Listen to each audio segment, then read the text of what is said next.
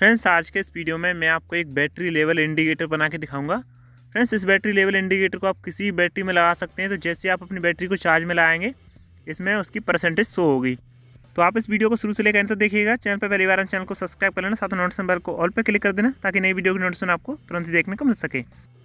तो यहाँ पर मैं चार एलईडी यूज़ कर रहा हूँ अलग अलग कलर की, और यहाँ पर वन किलो की रेशेंस चार पीस में यूज़ कर रहा हूँ। आप एल किसी भी कलर की ले सकते हैं। तो देख पा रहा हूँ यहाँ पर तो इन सारी रेस्टेंस को फ्रेंड्स आपको सीरीज़ में कनेक्ट कर लेना है। इस तरीके से। मैंने यहाँ पर चारों रेस्टेंस को सोल्ड कर लिया है। इसके बाद में फ्रेंड्स आपको जो एलईडी हैं, उन सभी का आपको पॉजिटिव पॉइंट आपको एक वायर से इस तरीके से सोल्ड कर देना है, सभी का पॉजिटिव पॉइंट आपको।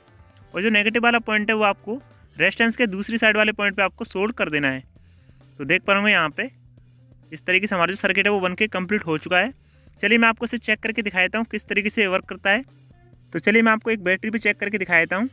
तो फ्रेंड्स यहाँ पे जो बैटरी मैं चेक करके दिखा रहा हूँ, ये थोड़ी डिस्चार्ज है इस टाइम तो देख पाऊँ यहाँ पे जो ग्रीन वाला इंडिकेटर है, वो यहाँ पे इस टाइम ग्लो कर रहा है। तो इस टाइम ये बिल्कुल डिस्चार्ज है। तो चलिए मैं आपको ट्वेल्व वोल्ट की बैटरी भी चेक करके दिखा देता हूँ। तो देख पाऊँ फ्रेंड्स यहाँ पे इसमें एक भी इंडिकेटर ग्लो नहीं कर रहा है, क्योंकि ये बैटरी बिल्कुल डिस्चार्ज है। यहाँ पे आपको एक भी इंडिकेटर शो नहीं कर रहा हो चलिए मैं आपको इसे चार्ज करके दिखा देता हूँ।